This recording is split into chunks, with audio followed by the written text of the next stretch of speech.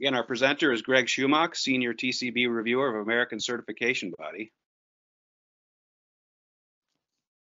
And right now, I'll ask Greg to begin, begin his presentation.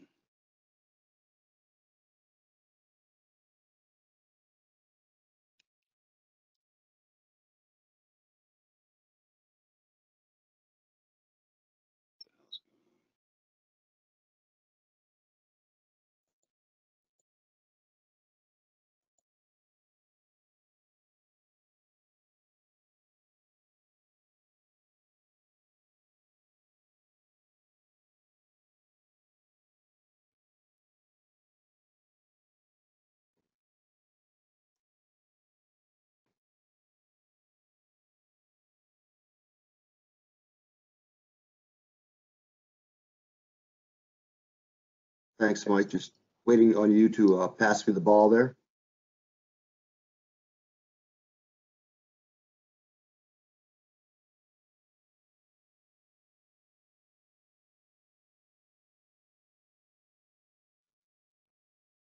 All right, you've got the ball, Greg. Thanks, Mike. I'd like to uh, welcome everybody. Uh, thank you all for being here today. And uh, Mike, I don't think you have my presentation loaded here. Yeah, I think we got a little issue here. Houston, hold on just a minute. You know what, Greg? I'm going to go ahead and take the ball. There you go.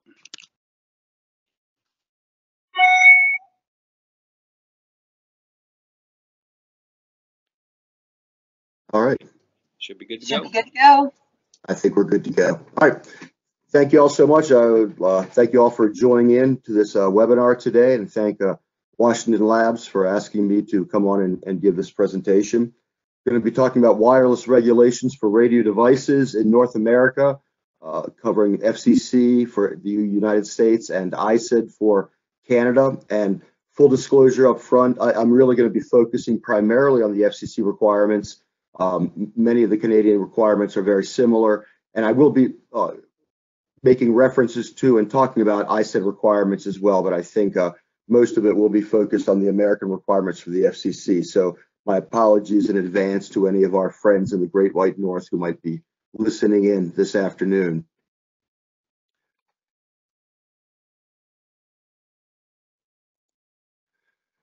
So uh, an agenda of where we're going to be going today, uh, and this is a, a, a pretty broad topic, so realize that this is going to be a pretty uh, uh, uh, high altitude overview of all of these requirements without digging into too many of the details given the time allotted uh, for, for this particular uh, topic here. But the things that we're going to be looking at include the various rules and regulations in KDB publications, what they are, what they mean, uh, and where they can be found. Uh, this is again covering both FCC and ISED in Canada. General rules and measurement standards from again from a very high level perspective. The application process when it comes to actually filing an application for equipment authorization for a wireless device. Uh, and then the last two areas are, are, are things that I chose to talk about simply because they have a lot of impact on the uh, grants that we issue for equipment authorization and on choices that are, are that various manufacturers have when they are authorizing their devices with an eye towards modifications and, and selling them to, to different installers and things of that nature. So we'll be talking about permissive changes and modular approvals. Uh, and then at the end, I hope to have some time for some question and answer, as, as Mike had mentioned. So when we're looking at bringing an electronic device into North America, whether you're bringing it in through uh, importation or whether you're actually manufacturing it here in North America, uh, in either event, there are a number of different regulations that will be applicable to that electronic device. Of course, the EMC type uh, regulations dealing with uh, licensed and unlicensed devices, intentional and unintentional radiators, and that will, of course, be the focus of this talk. But there are also various safety regulations from NEC and OSHA. There are uh, medical and health regulations in the FC, uh, in the United States, primarily from the FDA, uh, the CDRH, which is the Center for Device and Radiological Health, uh, has compiled thousands of case histories, and so those are various regulatory hoops that uh, an, a manufacturer uh, must jump through in order to market their devices here in North America. Once again, the focus of this particular presentation will be the top one, that is the various types of EMC requirements for wireless devices. So looking at various at a list of the various U.S. regulations for wireless devices, and at this point, unwireless, uh, I'm sorry, uh, unintentional radiators as well, and licensed and unlicensed uh, devices. Uh, we see that they are found primarily in the Code of Federal Regulations, Title 47, CFR 47, uh, which is the title for telecommunications here in the United States. Uh, this title is broken up into a number of different parts. These parts contain different requirements for different types of services that are potentially available. Part two has general requirements, and those include 2.1091 and 2.1093, which pertain to RF exposure requirements, both for uh, mobile MPE exposure and portable SAR exposure. Part 15, which covers unintentional and unlicensed intentional radiators. Part 18, traditional ISM type devices, microwave ovens, and RF lighting, and, and things of that nature. And then the higher number parts, 22, 24, 27, tend to deal with licensed devices, typically typically cellular type devices, and then some of the higher numbers, 80, 87, 90, 95, 96, deal with licensed devices also, uh, various services like marine, aeronautical, land, mobile, and the like. We'll be uh, touching on a number of these things throughout this presentation. On the Canadian side, the regulations are found primarily in, in the ICE SCSO 3 for unintentional emitters, such as digital devices, and then for wireless devices in their various radio standard specifications, the RSSs. RSS Gen for general, which is the overall and general requirements, the RSS 100 series, for licensed type devices such as land mobile, and the RSS 200 series for unlicensed devices, typically short range, low power devices equivalent to Part 15 devices for the US. Uh, for the most part, the technical requirements uh, in Canada have been harmonized with those in the United States. One of the other areas that uh, is of some concern and will have to be addressed in any type of equipment authorization is RF exposure safety, the RF safety issues for human exposure to RF fields. Uh, there are a number of different standards that that uh, are used to govern this particular area of, of compliance. ANSI C95.1 is a primary one. OET 65 and 65C was used for many years, but that's been phased out by the FCC recently. Uh, IEEE 1528, various FCC rule parts that you can see listed here, various KDB publications, and we'll be talking a little bit about more about those later. But uh, particularly when it comes to RF exposure, uh, most of those requirements for uh, test procedures and such are found in the KDB publications that we'll be discussing. And on the Canadian side, there's the radio standard specification 102, which is uh, for general RF exposure compliance of all sorts. And then more specifically, SPR 002 for nerve stimulation for the low frequency uh, type transmitters up to and uh, 10 megahertz in operation. Looking now at the types of different equipment authorization that are available in North America. We'll start out again with the United States here. Many years ago, the FCC had four or five or six different types of equipment authorization that could be invoked. Over the years, those have been combined, simplified, and pared down so that today there are only two different types of equipment authorization that are available for electronic devices or authorization under FCC requirements. Those are the SDOC, Supplier's Declaration of Conformity, or certification.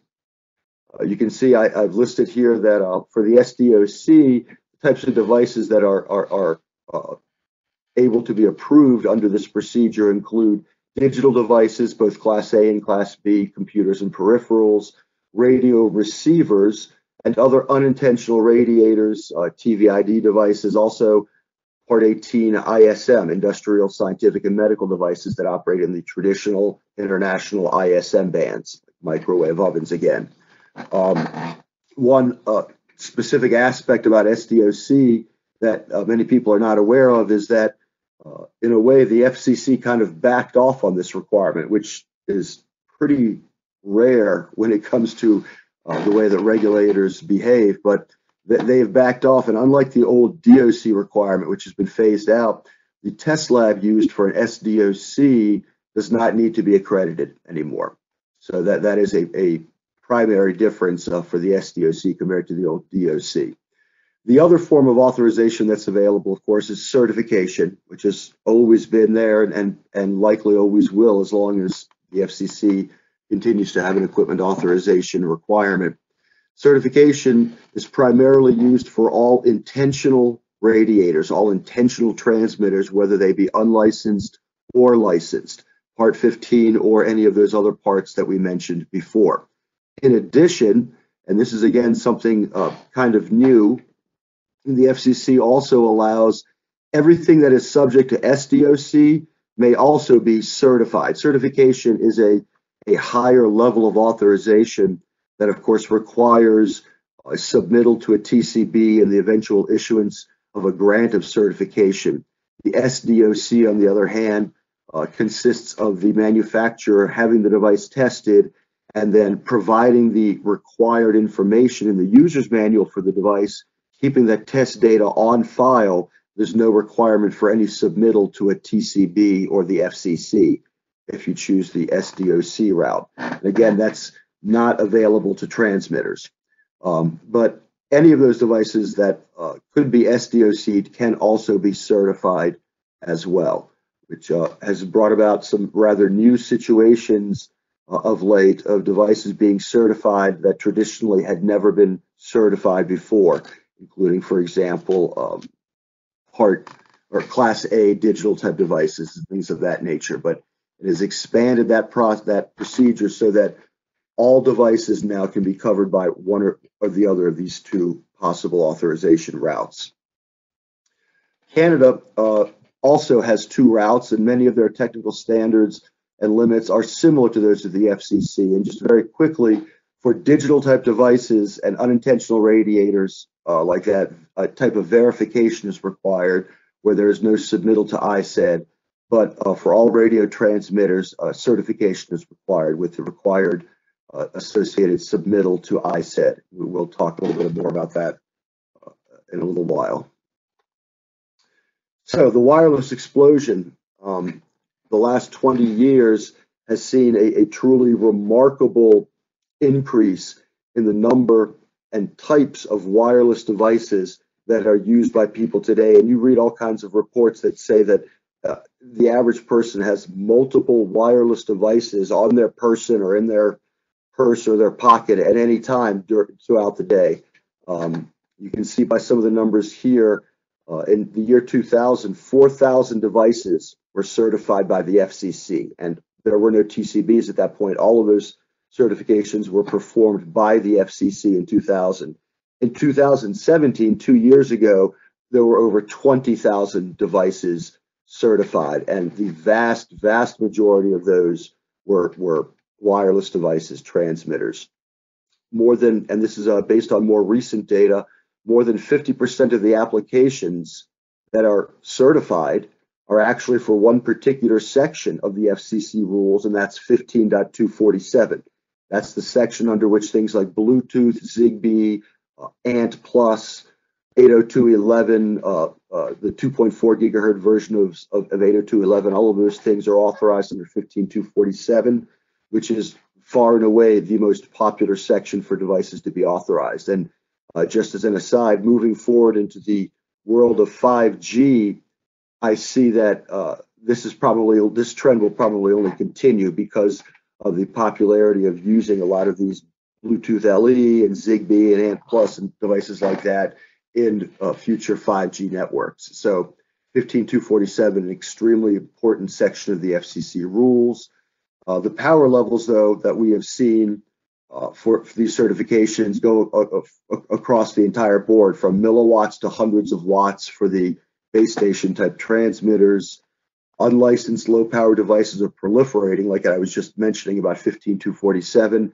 There are estimates that in 2018, up to 80% of all FCC grants issued were for Part 15 devices. And so certainly we see that that proliferation of unlicensed type devices uh, happening in, in, the numbers before us. Uh, the frequency allocations have been expanding. The FCC has been setting aside more and more available spectrum, uh, both with an eye towards 5G type systems, and then also with the uh, an eye towards the millimeter waves and the things that go even above millimeter waves. There was the recent uh, order coming out from the FCC talking about opening up spectrum over 95 gigahertz, and so uh, wireless is is the is the wave that we're all riding at this point right in time right now, and it doesn't show any signs of slacking, in, at least in the near future. And then just a final note here that today, unlike in the year 2000, 100% of FCC certifications are performed by TCBs, and nearly 100% of ISED certifications. At the last workshop, uh, the presenter from ISED said, and I, I, can't remember the number exactly, but I think it was 99 point something percent at that point were performed by CBs. So certainly that is the trend in all of North America at this time. Focusing more specifically on some of the Part 15, or I'm sorry, uh, FCC requirements for wireless devices, at the top there of this screen, I also list uh, two websites, different websites that can be used to access the various FCC rules. One of them is from the uh, actual FCC website, and the other is from the Electronic Code of Federal Regulations, the ECFR website. Uh, both uh, have the same rules written in them, and both are, are good links to use. Uh, in general, I've listed out here the various rules and the different services that they govern. Part two, as I mentioned earlier, general requirements. Part five, experimental radio. Part 15 there, unlicensed low power. Part 18, ISM. Uh, 20, 22, 24, 22, 24. Most of your cell phones are authorized under parts 2, 22, 24, and 27 for their um, cellular operations, their licensed operations. Part 25 satellite, Part 30, relatively new part introduced by the FCC with some of these new bands that they have been introducing. Uh, there's a lot of interest in Part 30 bands for potential 5G usage, and that is uh, certainly an up and coming rule part with a lot of uh, uh, potential uh, advancement in the industry in those frequencies to fulfill the 5G demands that society is already placing upon the industry. Part 68 telecom, that's your old POTS, your plain old television, uh, telephone service, uh, wired telephone lines. And you get up into broadcast television, uh, maritime at part 80, part 87, aviation services. You're getting up into the 90s now, part 90, 95, 96. We're looking at various types of uh, private land mobile radio services, personal radio services like family radio services up in there. The new Part 96 or relatively new Part 96 citizens broadband radio services. Not your grandfather's CB, no no uh, Smokey the Bandit here. Uh, these are really uh, network services that are being set up to provide a lot of like last mile type uh, uh, connections and things like that. Part 97 has been there for amateur forever, and Part 101 for fixed microwave services. Again, lots of new allocations being opened up that will fall under Part 101 for these higher frequency types of services. Another place where a lot of these rules and regulations for equipment authorization of wireless devices uh, can be found from the FCC is through the FCC's Knowledge Database System or KDB system a lot of confusion sometimes about that term KDB. Uh, the KDB can refer to the system itself. There are KDB inquiries and there are KDB publications, uh, and we'll speak briefly about these things. What I'm going to be focusing primarily uh, on here today are KDB publications. These are papers that are issued by the FCC and while they do not quite carry the same weight as an FCC rule, they are nonetheless FCC policies that must be adhered to when you are performing your equipment authorization functions. If you do not adhere to them, then you open yourself up to uh, a potentially slow and painful process of working through all the details with the FCC. So it's certainly recommended that the KDB uh, publications be fully utilized uh, in the equipment authorization process. Uh, just as a note, ISED, itself accepts guidance from most of these, or many of these, at least KDB publications. On the ISED website, they have lists of the acceptable publications that that that they are willing uh, to accept from the FCC, and I have one of those two links here. I believe this is the link for uh, RF exposure testing. They also have a link for KDB publications that are acceptable to ISED for EMC testing. Uh, the KDB inquiry system is also used, this is the KDB inquiry that I mentioned earlier, uh, to ask the FCC questions.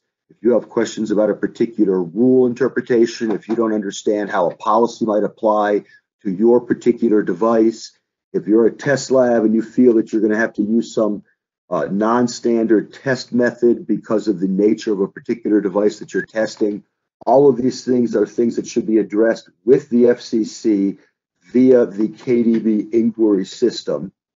Uh, and, and, this is the way that you can get those direct answers from the FCC.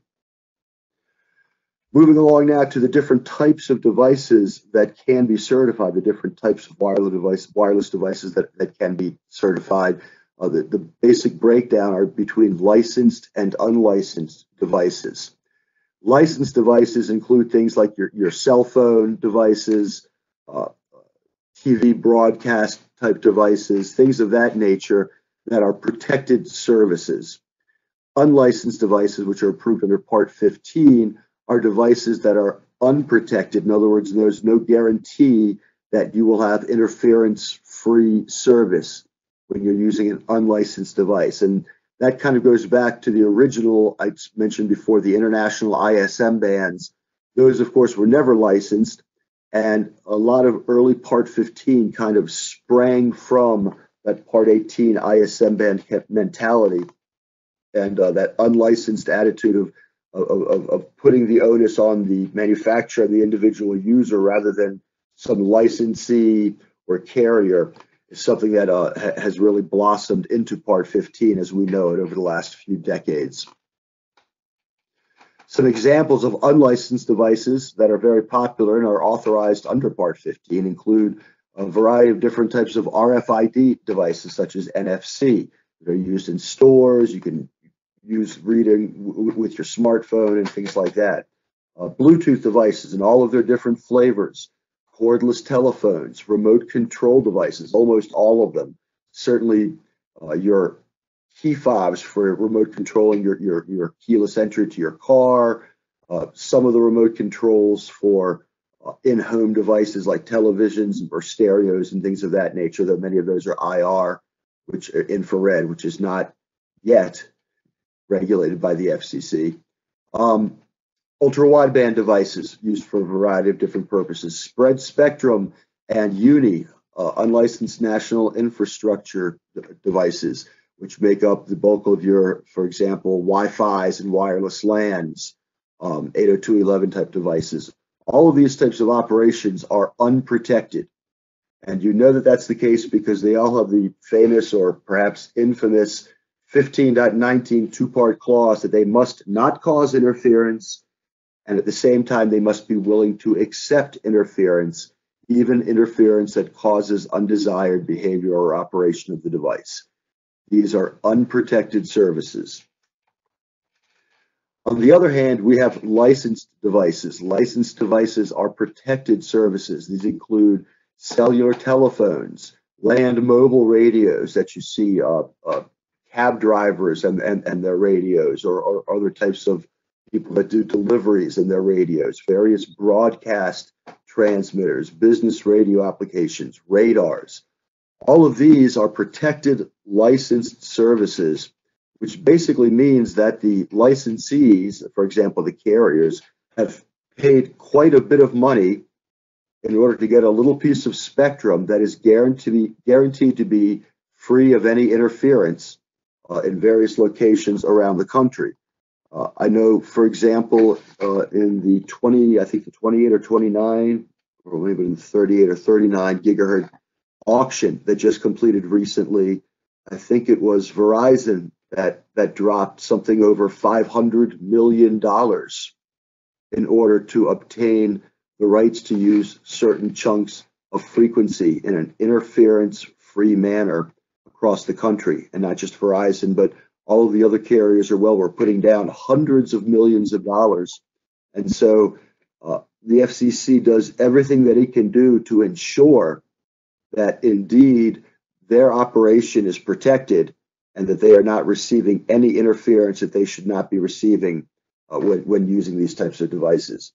So there's a distinct difference between the mental approach to both licensed versus unlicensed devices. In general, because licensed devices are guaranteed to have uh, interference free operation on their chunk of spectrum in which they are tuned to operate and licensed to operate, uh, you find that many of the requirements do not go into the same detail for licensed devices because licensed devices must also go through a licensing process before they can actually begin to be used in the United States. And there are many more measurements and things like that that are done at that point. On the other hand, Part 15 devices, once they are certified, they are good to be sold and used immediately. And so oftentimes Part 15 requirements can be more detailed and more specific than you find in the requirements for many of the licensed devices. Looking now at some of the general rule parts um, th that we have uh, in Part 15 and what they mean, as I mentioned earlier, Part 2 is the general rules and regulations that apply to all the other rule parts. And there are about 20 different rule parts uh, that contain uh, technical requirements for services and for equipment used in services that require equipment authorization. Uh, the standards for licensed equipment, as I mentioned earlier, are in some of the higher numbered parts starting from 22, 24, all the way up through part 101. And technical requirements for unlicensed equipment are found in part 15. Uh, ISM devices are used on the inter international ISM bands are all found in part 18. These different rule parts are, are created by different offices and bureaus within the FCC because they want to have different types of operation be allowed in different pieces of spectrum across the country. And uh, we have different experts in those different areas working to, to develop rules for all of these different operating types of services. And as a result, each of these different rule parts might have some unique technical requirements that have to be addressed for that device if you want your device to be authorized to operate under that particular rule part. Of course, there are the general requirements of Part 2, which will apply to most everything. Specifically, sections 2.1046 to 2.1055 list those minimal requirements that are applicable to all rule parts. In potential, all of them are, are applicable. So these Part 2 requirements will, will specify the type of test that must be performed, and the parameters of that test, but it does not specify the actual limits. The limits will be fi- found in the particular rule part under which the device is being authorized. So, for example, if you have a Part 90 device, uh, land mobile type radio, Part 2 will specify that the frequency stability versus voltage and temperature must be performed from minus 30 to plus 50 degrees centigrade but you have to actually look in part 90 where the device is being authorized to see that the limit on that frequency stability is 2.5 parts per million.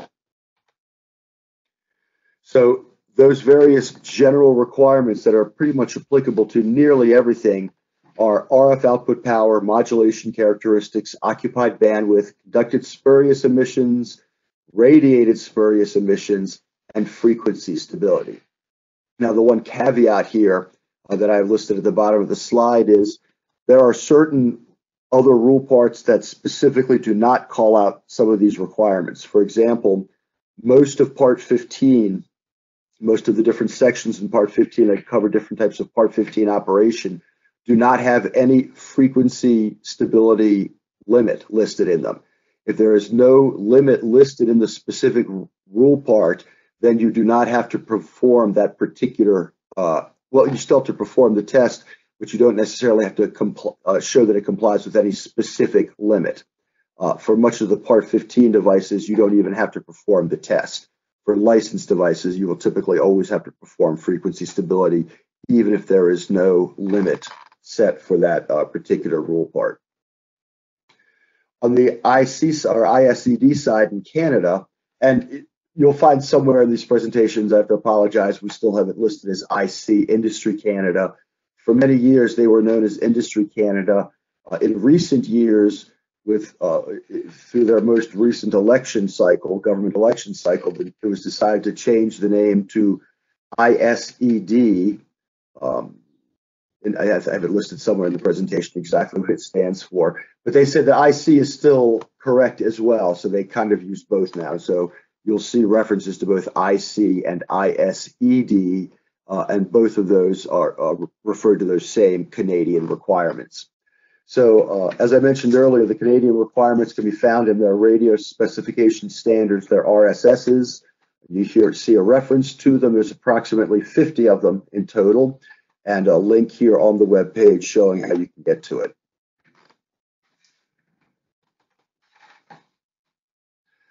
So we come now to the measurement standards that are applicable to these types of devices. And at the top, I have listed what, what are referred to as the big three.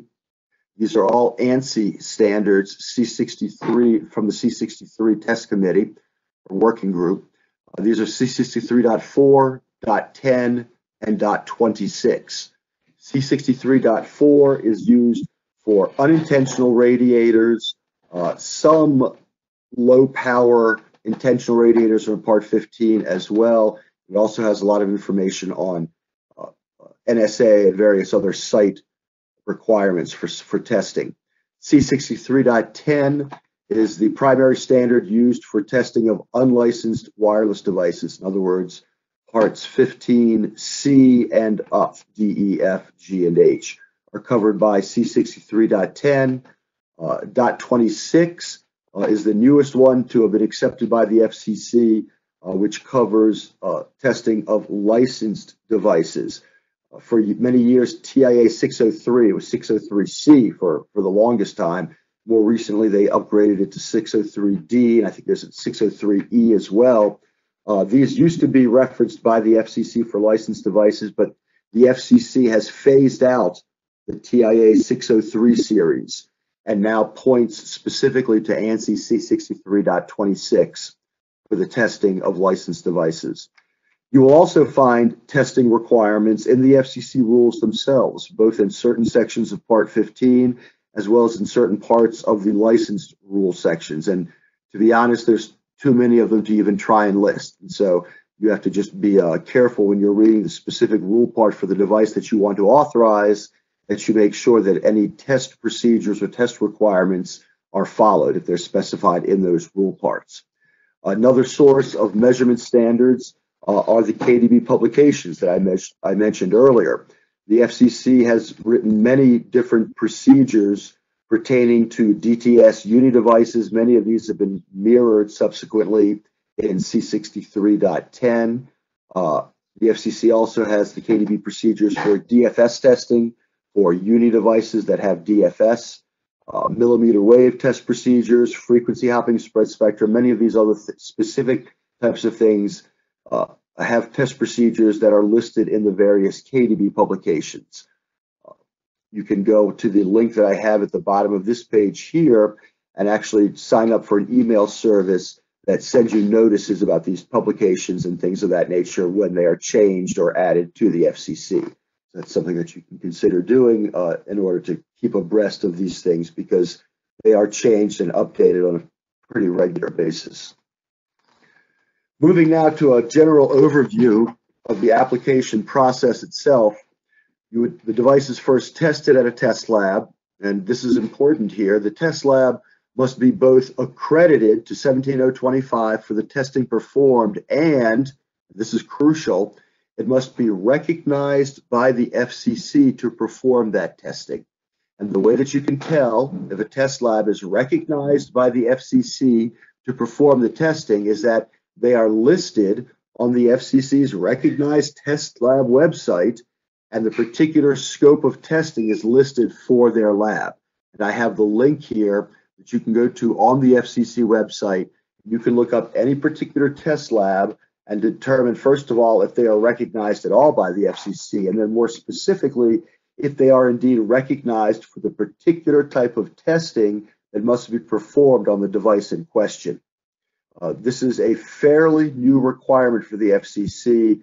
I would say it's maybe two or three years old at this point. Um, and uh, most of the test labs uh, are savvy to it uh, by now, and uh, you won't have a problem with that. We shall see in a moment or two that uh, ISED in Canada has very recently instituted uh, a, a, similar type of requirement, and there are some more issues with that, and we'll, we'll, get to that in just a minute.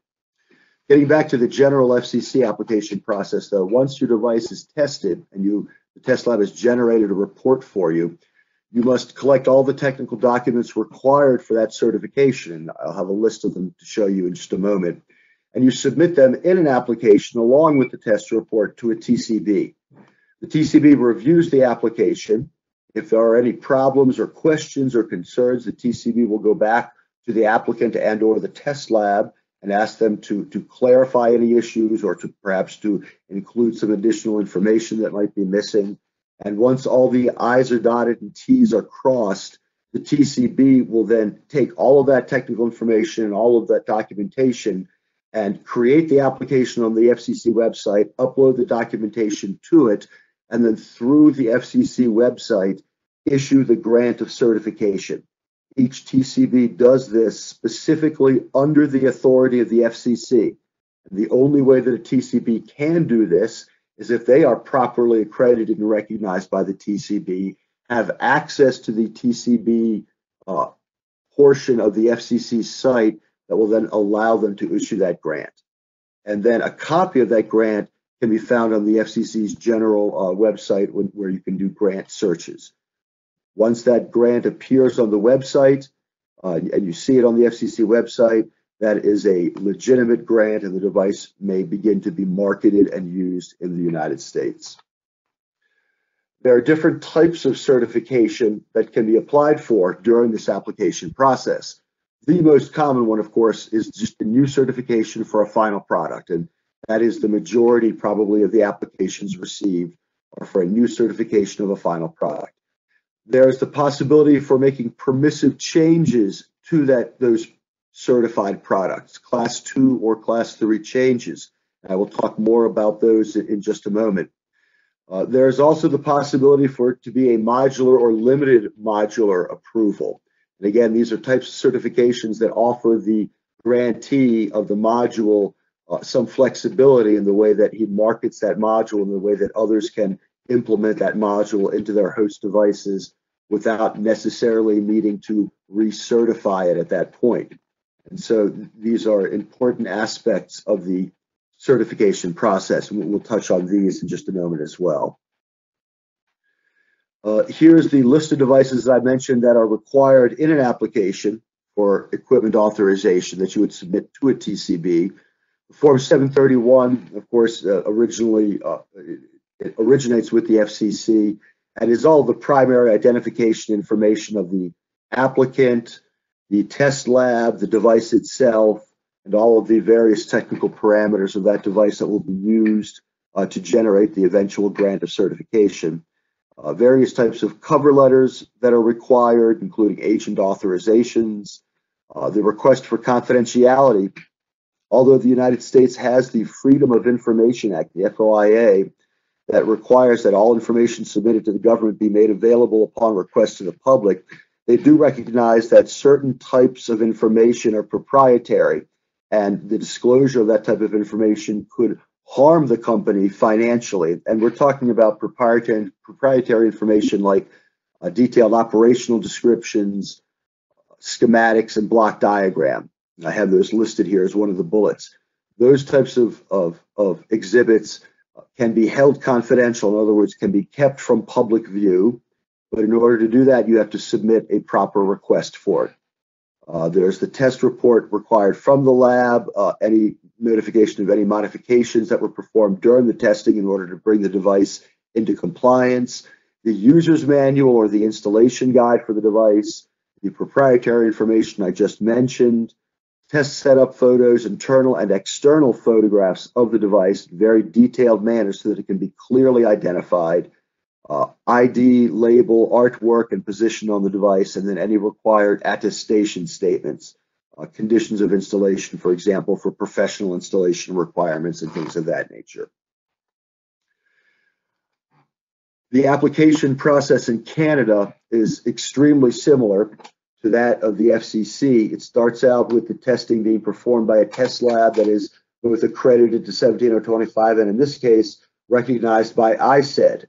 That is to say, recognized and listed for the particular type of testing that is performed on the ISED website, and the link for it is provided here. This is a very new requirement of Canada. Uh, it just went officially into force back on, I believe it was March 15th, uh, and there was kind of a, a, a grandfathering or, or, or, or, transition period that uh, is up on June 15th in two days. Um, but after that, basically everything at this point moving forward that is tested has to be done by a test lab that is recognized by ISED, and that recognition is demonstrated by uh, their presence on their on this website, the link of which is listed here. Then again, you put together the same type of application, you submit it to the CB, CB reviews it. The difference between the FCC and ISED is for the FCC, the TCB actually issues the grant of certification. In Canada, it's submitted from the CB to ISED. ISED does their own internal review, typically not the same level of detail, but there are a number of things that they will review internally. And then they list the, the device on their radio equipment list, a public list available on the internet and on their website, the REL or the REL. Once the device is listed on the REL, then the certification is valid for that device and it, it may be marketed and used in Canada. And just like, as with the FCC, where you can look up and see an FCC ID, you can look up an IC ID on the REL to ascertain that it is indeed legitimate. Uh, and much like the FCC, also, uh, ISED has different types of certification applications that can be filed. The one thing that kind of jumps out at you that the primary difference is uh, the FCC only requires filings and only has class or has class two and class three permissive changes that require filings. ISED has an additional class four permissive change, and they define their permissive changes differently than do the FCC.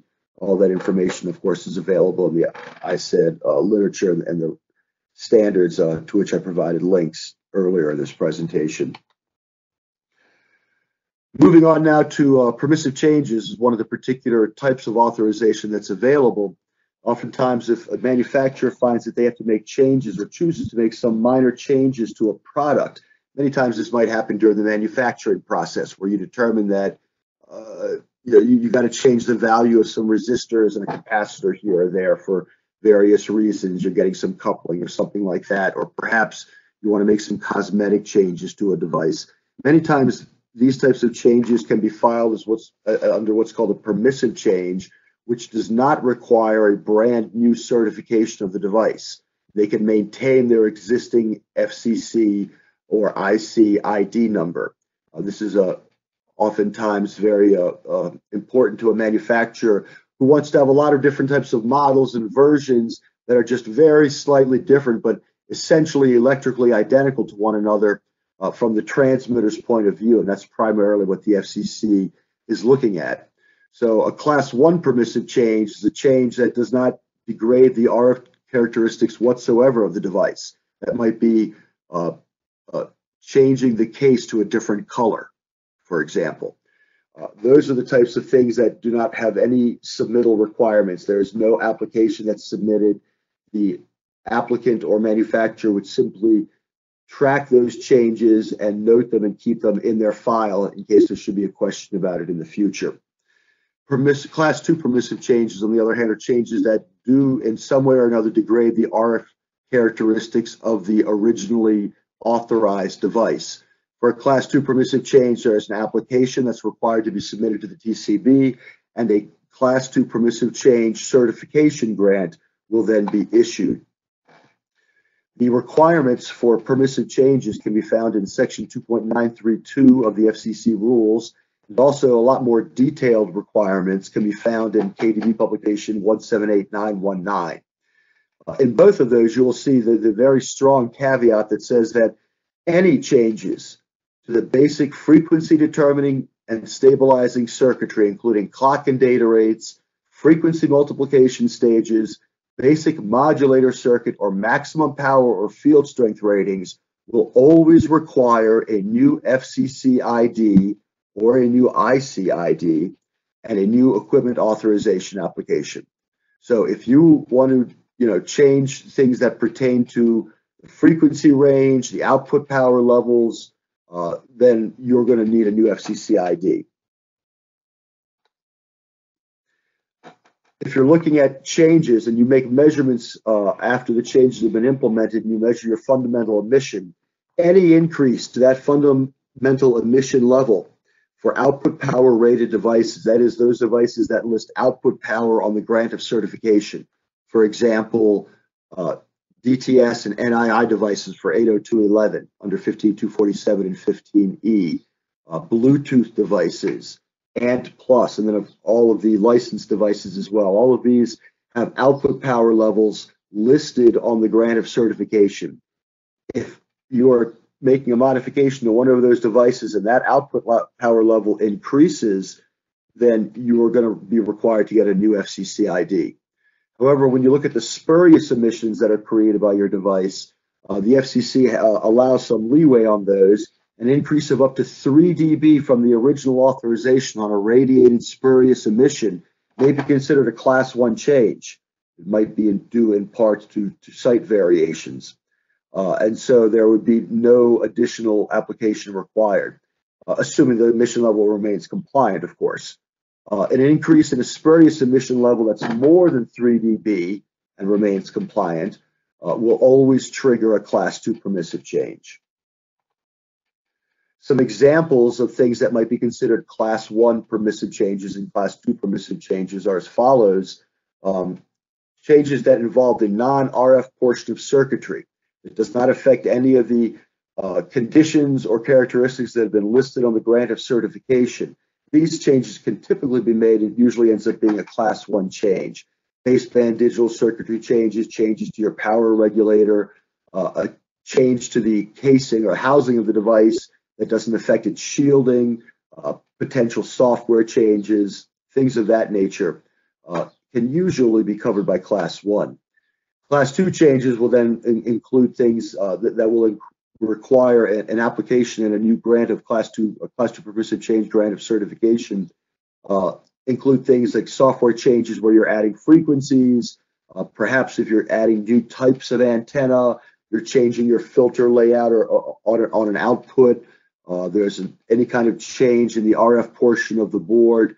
Those things will will typically always uh, trigger a class two permissive change. Different types of hardware changes can be covered by class one or class two changes. Uh, if you're uh, replacing a, a, transmitter chip, you, are resourcing it uh, from a different vendor perhaps, and that new chip is pin for pin compatible with the original chip, you can do that as a permissive change. If the new chip has the it has to has the same have the same basic function as the old chip from an external perspective, not internally. Uh, there's been no change in the radio parameters by installing the new chip uh, or a new section of PCB board, as the case might be. If all of these things are true, then you can go ahead and do that through, through a permissive change and are not required to get a new ID number for your device. However, other changes will always require that you get a new FCC ID number. For example, if you have different versions of a device with different internal active hardware components like amplifiers or crystals that result in different radio parameters, those things will require different ID numbers, uh, primarily because the device is no longer electrically identical when they are in place. Uh, when you're adding or subtracting onboard amplifier components, except for exact part replacements, pin for pin replacements, if you're depopulating a portion of a transmitter. In any of these situations, you're going to have to apply for and obtain a new FCC ID for that device.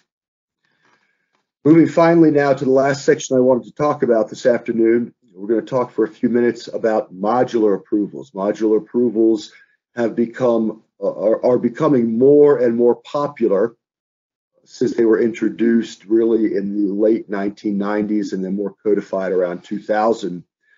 Uh, modular approvals are the approval of transmitter circuitry that can be used in a variety of devices without requiring those devices to obtain subsequent and separate FCC approvals. In other words, a module obtains an FCC certification, gets its own FCC ID number, and then if certain parameters are met by the host installer, they can install that already certified module into their host device and not be required to recertify that device under their own ID number. They can rely on the certification of the module manufacturer.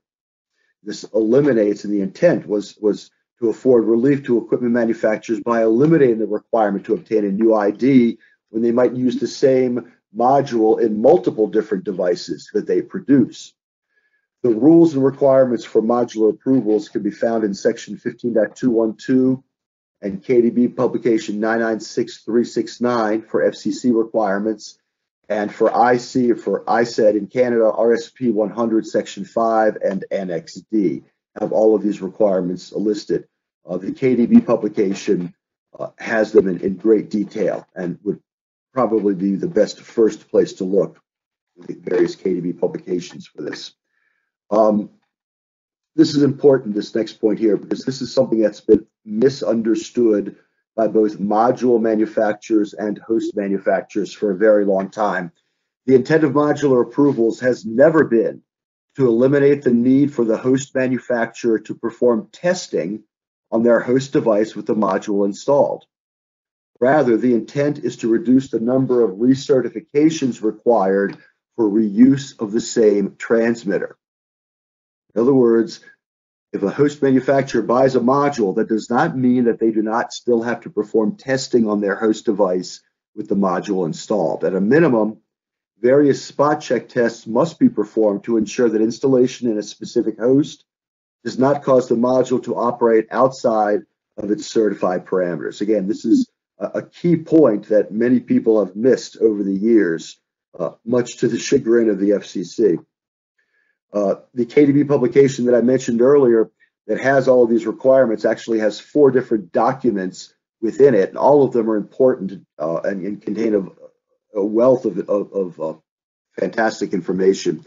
The first one is, of course, the general requirements and has all the basic rules and requirements. D02 is the frequently asked questions, and there's a lot of good information there. D03 and D04 are quite new. They've just been released by the FCC in the last couple of months. Uh, D04 with a lot of input from the TCB Council as well, that had a modular approval working group that met for over a year and putting together a document that was the basis for this D04 that the FCC used. D03 uh, is, is vital, I think, for module manufacturers, and it provides all of the requirements for what they must include in their installation guides when they sell a module to a host uh, installer, a host manufacturer who's going to install their module in their host device. The module manufacturer is required to provide adequate instructions covering how that module is to be installed, the do's and the don'ts of the installation. And D03 actually has a list of those various things that the TCB is required to look for to make sure that the, mo the module's installation guide or installation manual has all of the necessary information. D04 is, is a fantastic guide for host product manufacturers who are buying certified modules and then don't know what their uh, responsibilities are moving forward. D04 talks both about the information like labeling and things like that that have to be provided by the host manufacturer and it also includes uh, guidance on the required testing, those spot check tests that I mentioned on a previous slide that have to be performed once the module is installed in a specific host. So all four of these documents right here are really, really uh, key importance for modular approvals uh, in the uh, in the United States. I'm going to try and uh, hurry up and finish up here and leave some time for questions at the end. I'm getting near the end. Um, the module, this is another important point, the module grantee or certificate holder always remains responsible for the module compliance. In other words, if you are a grantee who've created a module, once you sell that module to a host installer, it's not like your responsibility ends. You're, you are continually responsible for your module device. And whenever there is a, a uh, an interference complaint, the FCC always begins by assuming equal responsibility between both the module manufacturer and the host manufacturer. And so it's important that that they both realize that they are responsible for the compliance of any end product placed on the market. Uh, and one of the ways that the user will knows that, know this is that the host manufacturer is required to label his device saying it contains an FCC ID number. And so both so the end user can identify both the host and the module manufacturers. That's a key point for, for both of those uh, entities to, to keep in mind. Uh, moving forward kind of quickly, uh, what I have here are the various requirements specified in 15212 and the various KDB publications. These are the eight requirements that are in place in order to obtain a modular approval. And we don't have the time today to go through these in detail, but you can find them listed here. Uh, a limited modular approval is when the device cannot meet one of those eight requirements. Oftentimes, it has to do with the shielding requirement. Uh, and so uh, a, a, true full modular approval will have been tested standalone on the table. But if it doesn't comply like that it requires some shielding from a host, then a limited modular approval is oftentimes used. A limited modular approval basically says that one of those eight criteria has not been met. And so the grantee of the module is responsible for all installations to ensure that whatever that portion was not met uh, by the module itself is met by the module once it's been installed in a particular host. So that limited modular approval puts uh, more responsibility on the on the module grantee to make sure that the specific host in which it's installed is one that will allow that module to, to then meet all of its requirements. Typically, a module manufacturer will will go for the limited modular approval when it plans on installing that module in a series of its own host devices. That's an easy way for it to move forward in that case. Uh, this has been primarily about unlicensed or Part 15 modules. Uh, the FCC also allows licensed transmitters to be uh, to obtain modular approval. Uh, there are differences but there are also many similarities. And uh, as a result, the FCC strongly encourages licensed module manufacturers to also follow those eight requirements that have been specified for unlicensed modules. Finally, some of the issues that modular uh, manufacturers and host manufacturers commonly run into. The first one is understanding the eight requirements. The second one is the one that I just mentioned, that understanding that the original grantee is always responsible for the module in the final host that responsibility for compliance is shared with the host device manufacturer.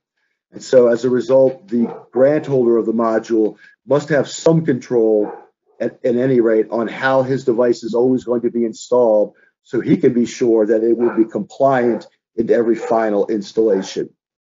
Um, finally, determining how to address RF exposure is a question that a lot of people have. And if you have that question, I'd recommend that you go to your local RF exposure testing lab or TCB, and they can step you through the process of determining the RF exposure requirements necessary for a module and a particular host. Uh, understanding the shielding requirements and the reference trace requirements are also issues uh, that we've run into in the past.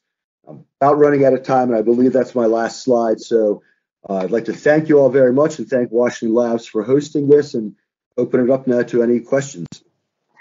Hi, Greg. Yep, we do have certainly a, few questions here. Let's uh, let's see. Let's start with this one about SDOC. So, do unintended radiators qualified under Part 15, Subpart B require an SDOC? Because in the past, I've referenced a table that showed that we didn't require it, and the table showed product categories, qualified, test, SDOC, and grant certificate. this person can't locate it.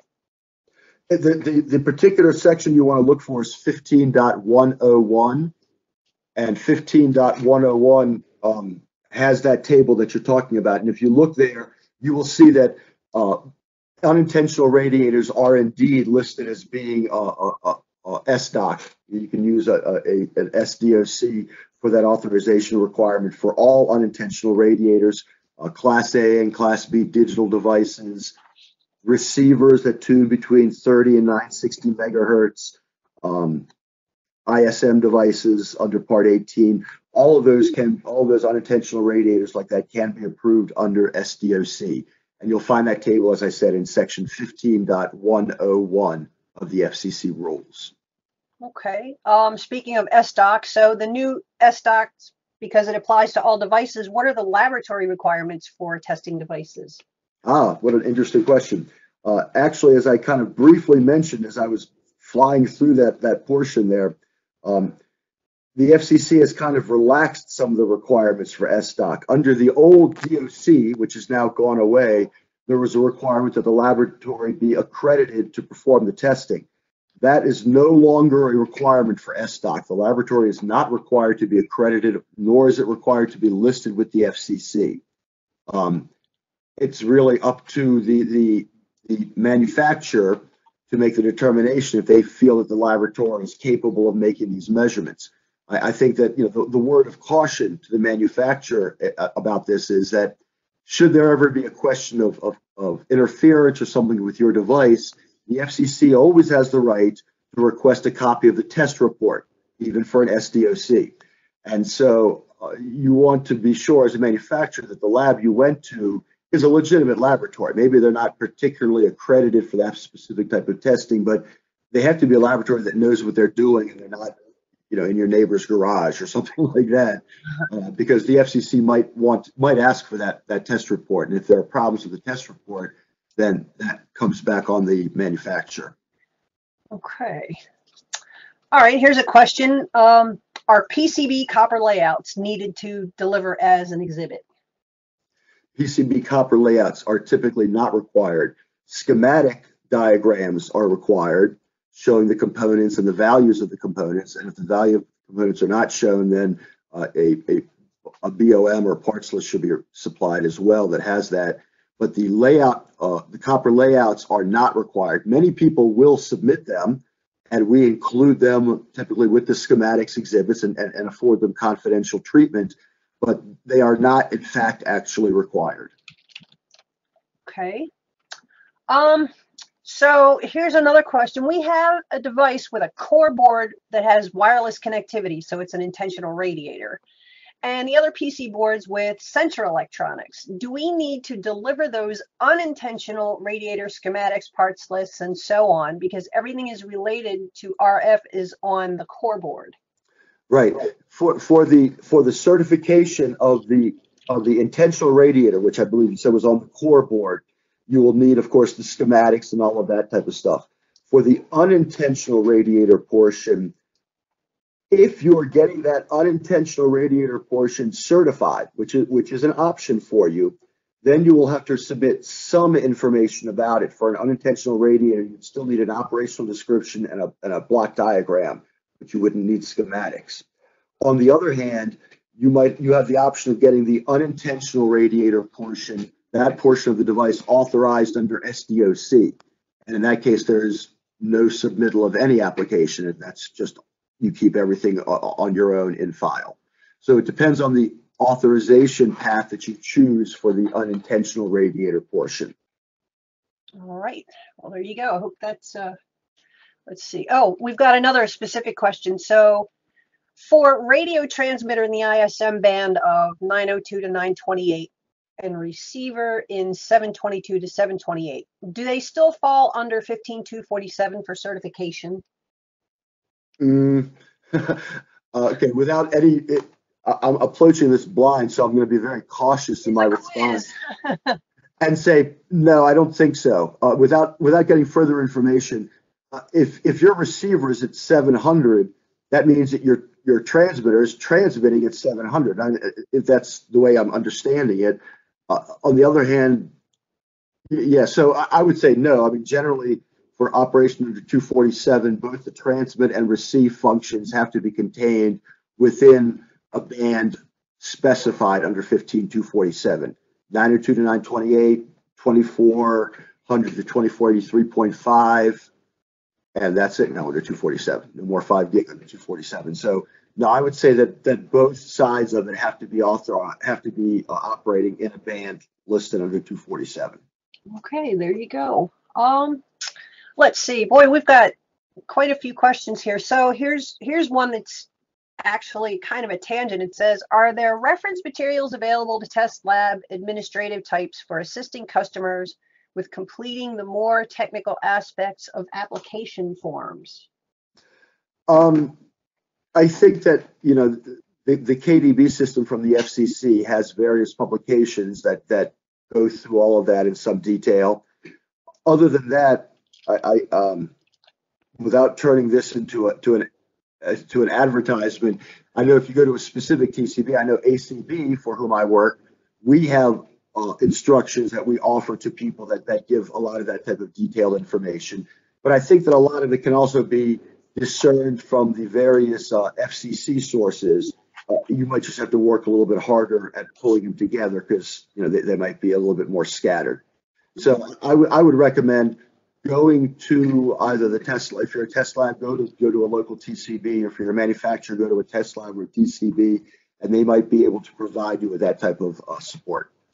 Okay, great. That sounds good. Um, all right, so let's see. For a host integrated pre-certified radio module, is testing under 15.209 required for the host? Okay, um, the, the entire device, host and module, must comply with the rules. So if the host has already been tested separately, okay, for, for whatever it's got going on there, uh, and you install the module, then there is also a requirement that says when you do FCC testing and you have multiple transmitters inside a device, both of them must be active when you do the measurements on either one. So that could kind of be a little bit of a fly in your ointment there as a result. But I, I think that, uh, uh, yeah, a lot of times the answer to that type of question might require uh, some more detailed knowledge on exactly what's going on. And so I would certainly encourage you uh, to to send an email uh, to uh, to you can send it to me or, or to ACB in general uh, and we would be happy to answer your questions. But I think it's going to requ- require a little bit more detailed information before we can give you a, where I can give you a more detailed answer. Okay, well, there you go. Um, let's see. Must the FCC named grant holder contact be based in the United States? No, no. The the the point of contact for the for a particular grantee code, as listed in the FCC's grantee code database, that point of contact for a grantee code could be anywhere. It's typically wherever the uh, home is of, of the company that's applying for that grantee code. There's a little bit of confusion here. What who must be in the United States though is the point of contact or the responsible party when you're using an SDOC.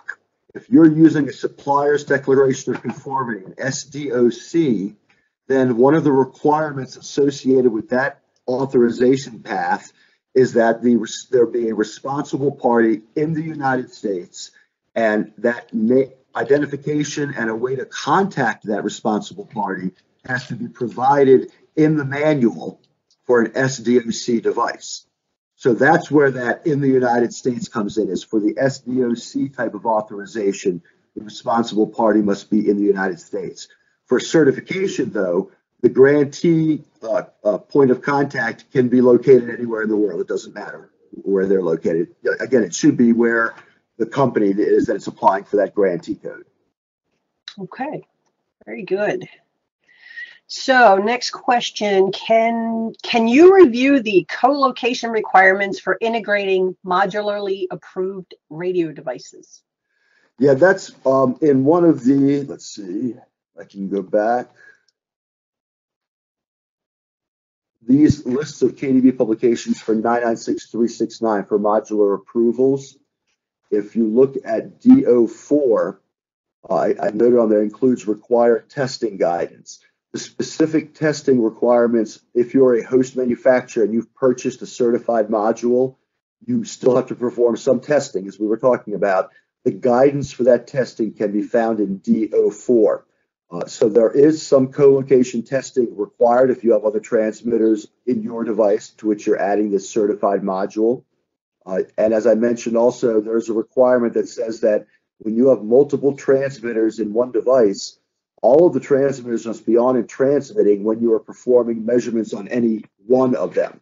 So uh, the, co-location issues would then be seen. Intermodulation uh, products must be measured in a situation like that when you're looking at spurious radiation and things like that. So um, it really uh, is kind of specific to the exact circumstances of each situation, but there's a lot of really good information in D04 that can generally guide you through what you need to look at and what you need to do in this type of situation. All right.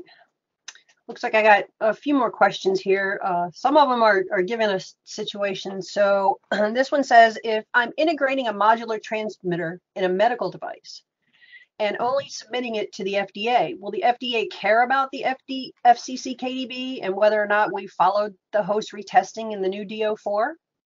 Well, first of all, if you're putting a transmitter into a device, if, if this is a module that's been already approved uh, by the FCC. So I guess let me get that straight first. So we're talking about a certified module going into a medical device. Uh, will the FDA care? Well, it doesn't matter if the FDA cares. That's a whole different ball of wax. It doesn't matter that it's a medical device. Once you've put a certified transmitter module into your device, and your device might be a flower pot. Okay, and and you know this is the classic example, and they're out there.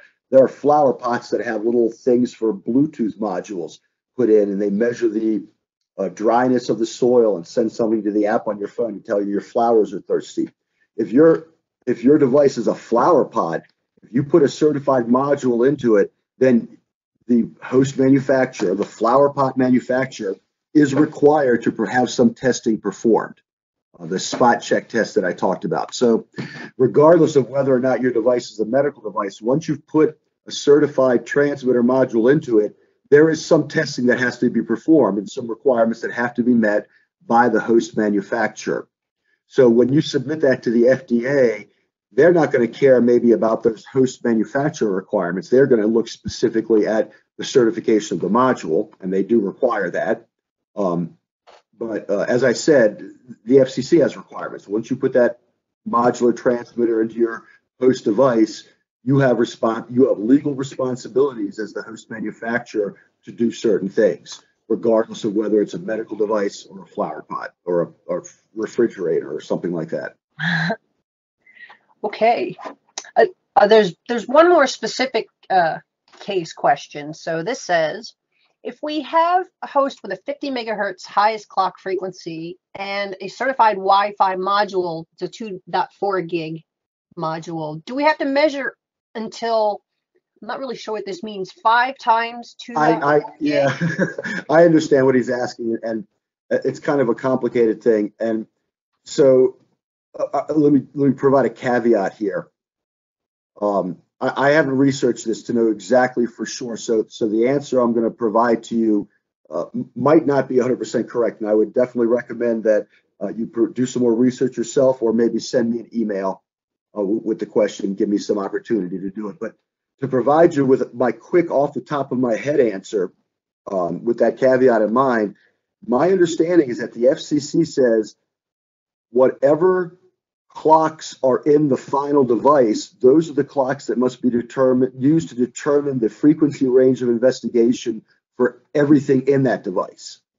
Uh, so that means, in other words, they're taking a really hard line on this and saying that if the certified module has a clock, you know, 2.4 gig, and you're putting it into a host device with a you know much lower clock, you still have to go up to the frequency dictated by the highest frequency generator used in the module in that case. So it's it's kind of a worst case scenario type of thing. Uh, but I, my that's the answer off the top of my head. That's my understanding, at least, of, I believe that's what the FCC is requiring. But as I said, uh, we could research that a little bit more to be absolutely sure. Okay, great. So, um, someone's asking about getting copies of the presentation slides. I'm, I'm pretty sure that's what we're going to do. We're going to send them out to everyone uh, after our webinar, right? Um, that's not my call. That's fine with me. Yeah. Yeah, so that's what that's what we'll do. We'll be sure to uh, send PDF copy out to everybody so they can get the links and everything else and, and, and the information here because it's a lot of great information for sure. Uh, so there's one more question and it's, it's actually informational. It says, what rule parts have the most certifications issued?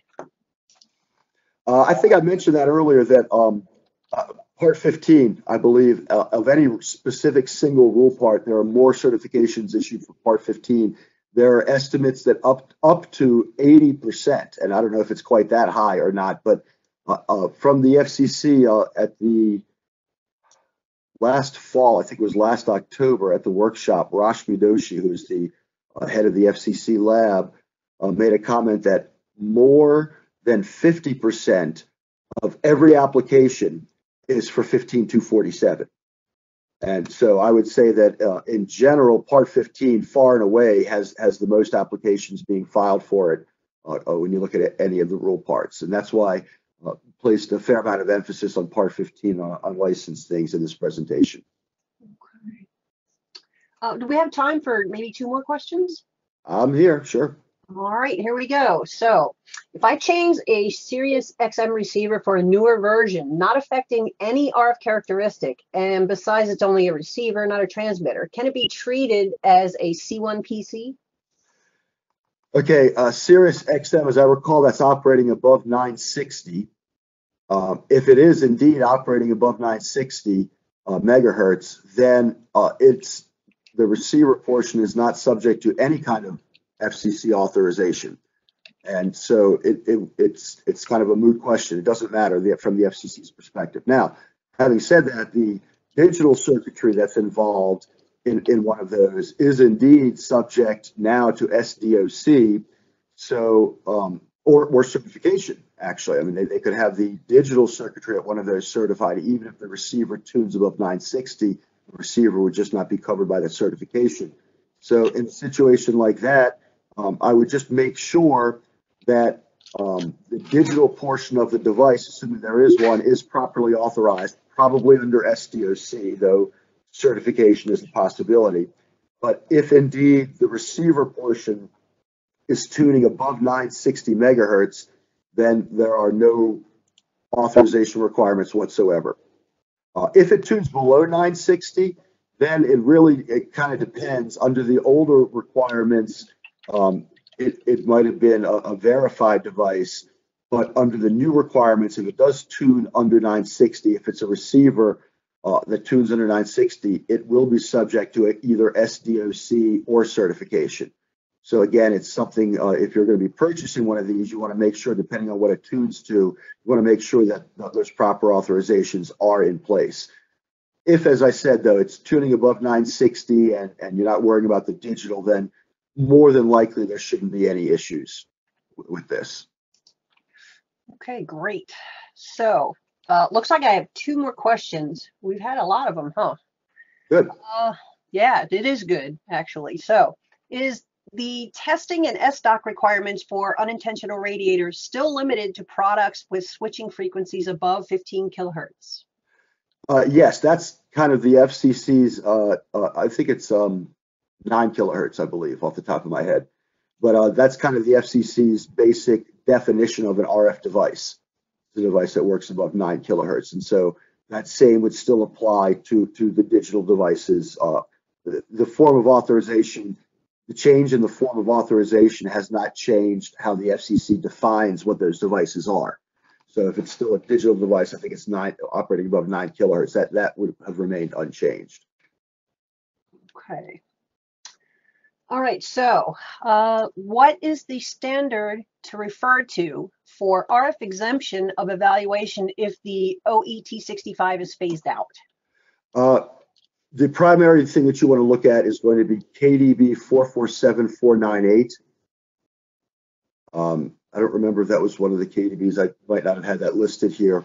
But uh, 447498 is the general KDB for all RF exposure. I think the FCC refers to it as their RF exposure gateway KDB publication because that's the place where you would start with anything having to do with RF exposure issues. And from there, you can go on to more specific ones. But all of the exemption uh, or exclusion limits and methods of, of, of determining them, both for standalone transmitters, for simultaneous transmission, all of that information is located in KDB 447498. Okay, great. Um, so, wow, here comes another one. So, does the blocking and desensitization requirements still enforce? Did I say that right? How how signals having very low repetition rate are measured now? Uh, that those requirements, uh, I, I, believe, are still specified. Uh, there's been no change in the way that the measurements are made. So all of those things that that that specify the frequencies, for example, you know, there's a certain cutoff frequency below which you're not supposed to use a CISPR QP. I can't remember what it is off the top of my head, but you know, there's a certain uh, uh, uh, repetition frequency or frequency that you don't below which you don't use that.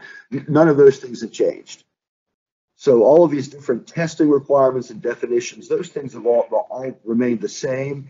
It's really just the way that you get the authorization on the equipment. That that's what has been uh, modified by the FCC to pare it down to just certification or SDOC. All of the other definitions and methods of measurement and things like that, those remain the same. Okay, great.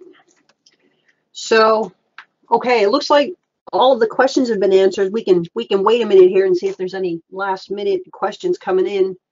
Uh, meanwhile, as a quick reminder, through the Washington Laboratories partnership with American Certification Body, it's possible to test and certify devices with quick market access. For more information, you can visit the ACB website at acbcert.com. So let's see if I have any other questions. Greg, I think we have gone through the list here and answered everyone's questions. Great. Okay, so uh, with that, I'm going to go ahead and conclude today's webinar. Thanks so very much for your time to uh, answer all the questions today. And absolutely. Thank you for the opportunity. Absolutely. So on behalf of Washington Labs Academy, I want to thank everyone for their attendance and their participation. At this point, I'm going to go ahead and end the event. So enjoy the rest of your day, everyone. Until next time. Bye-bye.